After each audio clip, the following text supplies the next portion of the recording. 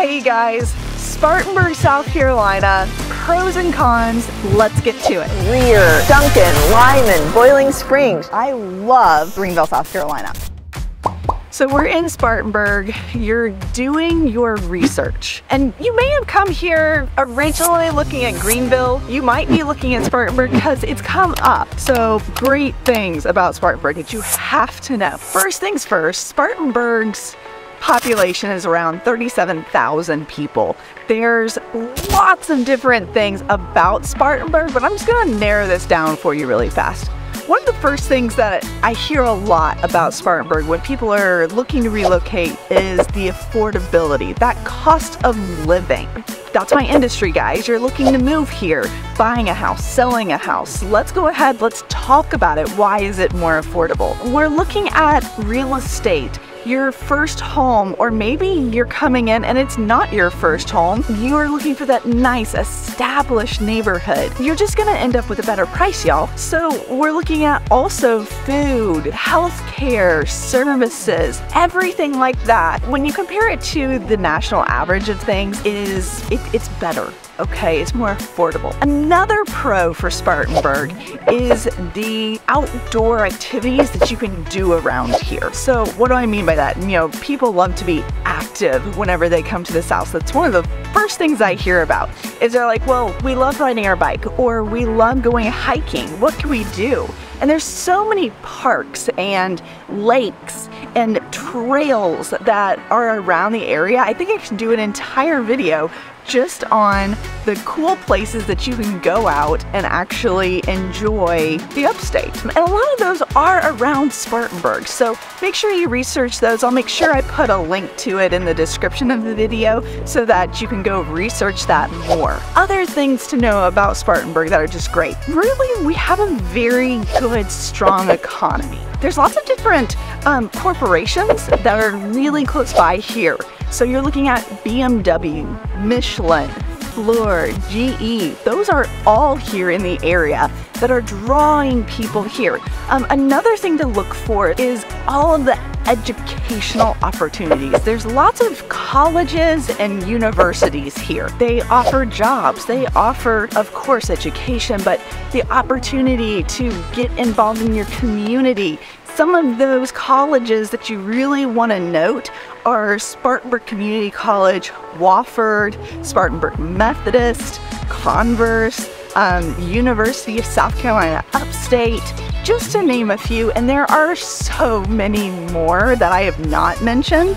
So definitely if you are looking for a great place for um, your family to have education opportunities, definitely Spartanburg is a hub that you don't want to miss out on. And then finally, I really want to highlight like the arts and the culture of this area. Spartanburg is a older community of the upstate. If you've watched my other Spartanburg video, I go into more depth about the history of the area but definitely the arts and the culture. And you hear the train? It's here because we are right outside of one of the inland ports. So that's down in Greer, and so there's gonna be trains all over the place. You're gonna hear that, but that's that's part of this area. That is why this area has grown to where it has been.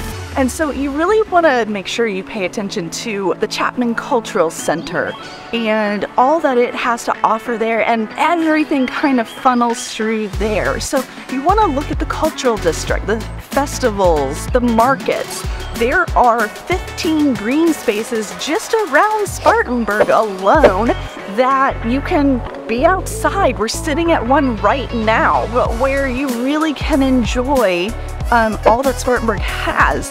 There's five different museums in the area. There's 10 to 20 different performance venues that are they're live venues, guys. Some of them are outside and some of them are inside. And you really want to make sure that you pay attention to what's going on in your community. So there's the good things, the things that I could probably keep adding on to. I think you need to look at Spartanburg. Now, let's get to the point of why you actually came to this video. You want to know the dirt. You want to know what's not so great about Spartanburg. So let's go to that part. Let's talk about the cons. And one of those first things that I'm gonna talk to you about is like public transportation and then also some of the traffic congestion that you can hear at the background here. If you're used to easy public transport, you're really not gonna find it too easy here. Around here though, you will find electronic scooters every so often, or like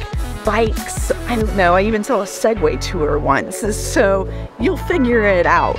But it's something to note. I did mention the traffic congestion around here. We're right here in the I-85 corridor, and Spartanburg has a lot of main roads. So there are areas that the congestion is worse and that's okay. Just know it's getting better. It's one of the things that you need to be aware of here. Another thing is the weather. So I would say 70 to 80% of the year, we are in a very mild, temperate climate. However, in the summertime, it gets hot and sticky and humid. In the springtime, like right now, we have this greenish yellow film on everything. That's the pollen around here. If you have really bad allergies, you may not want to be here in the springtime. We do have a winter time here, um, and if anything, we get an ice storm and it's gone in two days.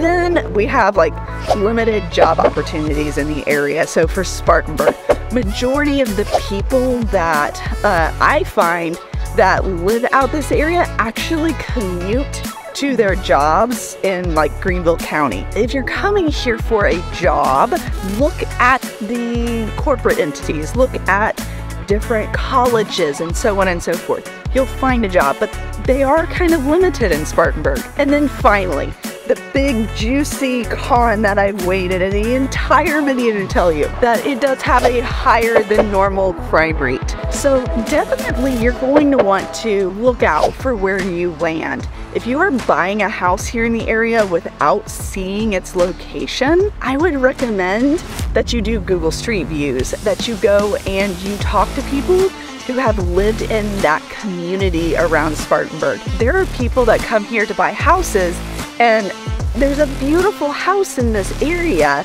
but around the area might not be the best location. There's so many wonderful communities here in Spartanburg that you really need to look out for. So if you need help with that, contact me. I will make sure you talk to the right people.